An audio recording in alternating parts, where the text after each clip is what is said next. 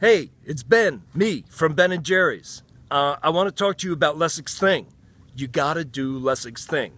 Lessig's Thing is what we need to get money out of politics, and everybody knows money in politics is what's screwing up the country. It's why we don't have any decent environmental regulation. It's why we don't have any decent student loan rates.